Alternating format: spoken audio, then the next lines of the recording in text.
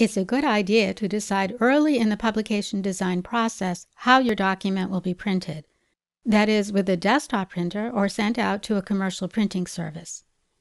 This is important because the method of printing dictates how the document should be prepared.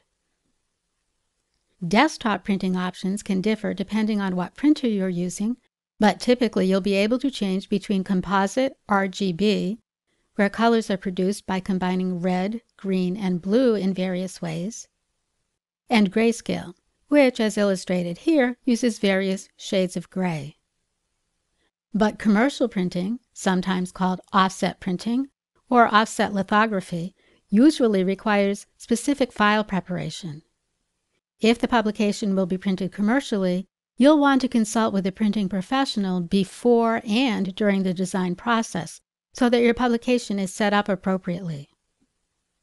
Commercial settings are accessed here in the Info category.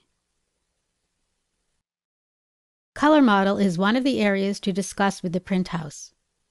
Process colors, or cyan, magenta, yellow, and black, is frequently used. Selecting it causes this prompt to appear. By choosing this last option button, Publisher provides access to the Pantone matching system. Check with the print house to see what they recommend. And clicking OK saves the choice suggested by the print house. Next, the print service would provide guidance on whether to embed or not common system fonts and subset fonts.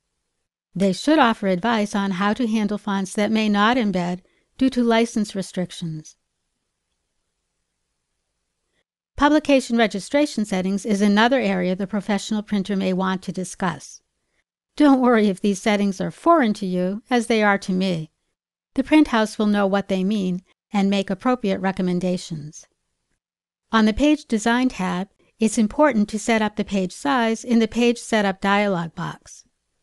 As you can see here, page and paper size are actually two different things. I discussed this in a separate clip. Again, if the publication will be printed commercially, it's best to discuss this section with the commercial printer before work begins on the publication in order to get the best results. After setting these things up according to Printhouse recommendations, remember to save so the publication is set up just the way the print shop will need it.